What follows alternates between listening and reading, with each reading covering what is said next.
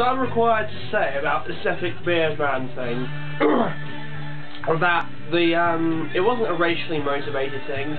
The guy who got beat up, the black guy, deserved to get beat up for failing terribly to parody a scene from the Goodfellas. The whole shoe shine thing. Seriously. I'm not racist or anything, but you know, that was just terrible.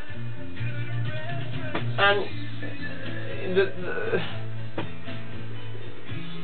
just epic fail, man. I mean, come on, you don't parody Joe Pesci's work. What the fuck were you thinking?